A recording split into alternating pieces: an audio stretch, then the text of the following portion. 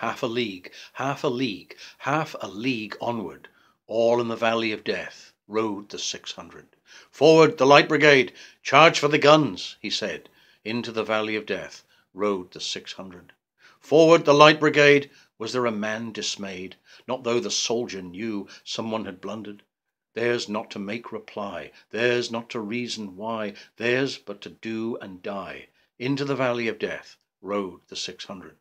Cannon to right of them, cannon to left of them, Cannon in front of them, volleyed and thundered. Stormed at with shot and shell, Boldly they rode and well. Into the jaws of death, into the mouth of hell, Rode the six hundred.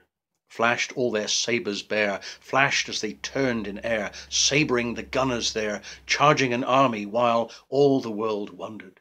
Plunged in the battery smoke, Right through the line they broke. Cossack and Russian Reeled from the sabre stroke, Shattered and sundered. Then they rode back, but not, Not the six hundred. Cannon to right of them, Cannon to left of them, Cannon behind them, Volleyed and thundered stormed at with shot and shell, while horse and hero fell.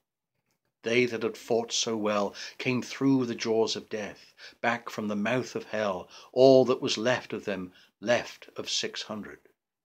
When can their glory fade? Oh, the wild charge they made! All the world wondered. Honor the charge they made! Honor the Light Brigade! Noble six hundred!